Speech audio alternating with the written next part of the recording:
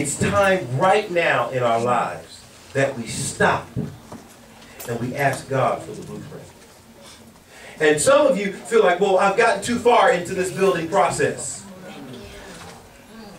And see, when you get too far into the building process, you feel like it's too late to turn around.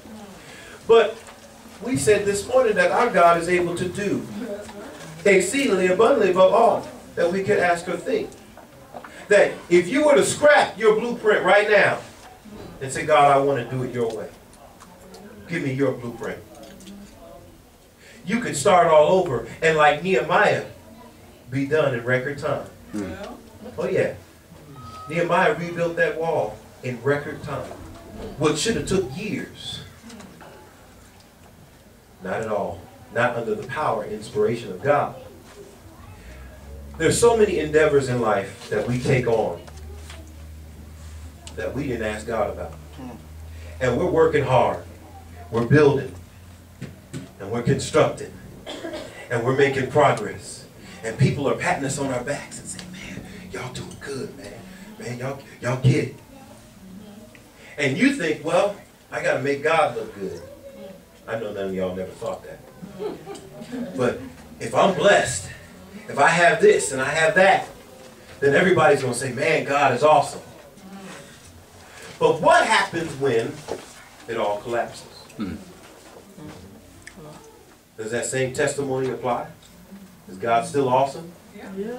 He's still awesome, but where was the fault? It's right here. Right. Right now, there are things that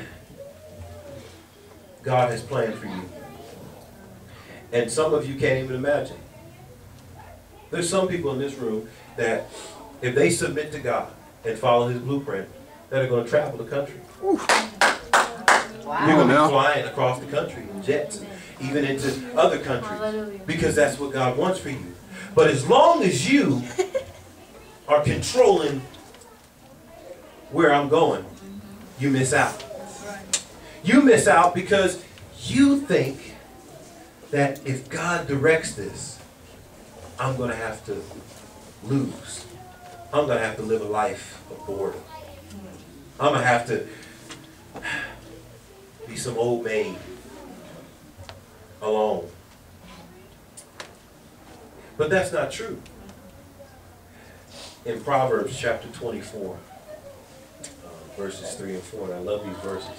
He said, through wisdom, a house is built, and through understanding, it is established.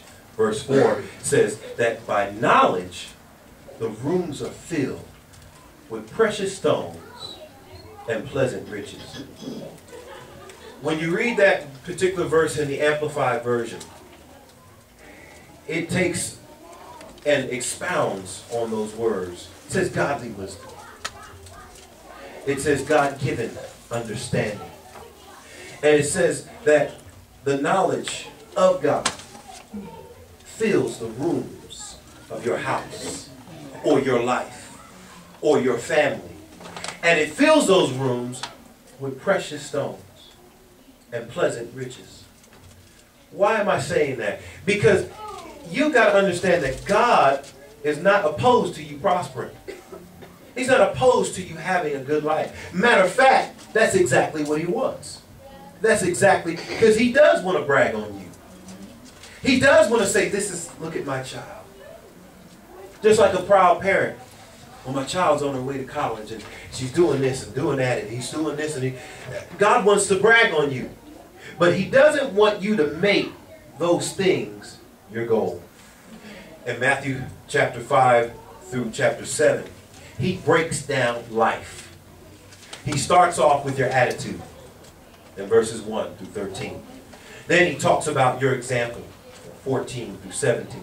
Then he talks about the kingdom in verses 20 through about 25. And then he begins to talk about the things in the heart and then he begins to talk about uh, how we should treat our neighbor and how we should love people. And then in chapter 6, he begins to talk about praying and how we should look to please God and not to please man. And then he teaches them how to pray. And then he teaches them their focus.